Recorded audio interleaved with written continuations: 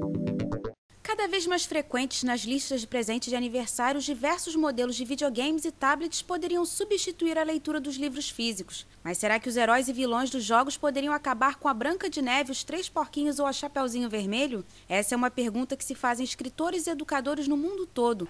Mas com base no 15º Salão do Livro para Crianças e Jovens no Rio de Janeiro, eles devem ser otimistas. Os dados na região são positivos para a literatura. Segundo o Centro Regional para o Fomento do Livro na América Latina e no Caribe, em 2011 foram publicados 10.414 títulos infanto-juvenis, um número 27% maior em relação a 2010. Com dados animadores, a escritora e presidente da Academia Brasileira de Letras, Ana Maria Machado, afirma que não há o que temer.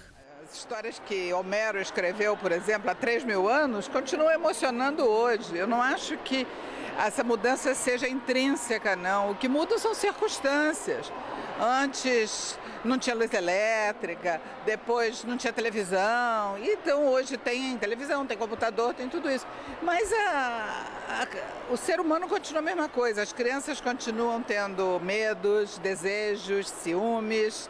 Enfim, as emoções básicas são as mesmas, então não tem diferença, não. O Salão do Livro para Crianças e Jovens comemora 15 anos, reunindo escritores e ilustradores, como Rosana Rios, Pedro Bandeira e o espanhol Alfonso Ruano. O evento fica aberto ao público até o dia 16 de junho.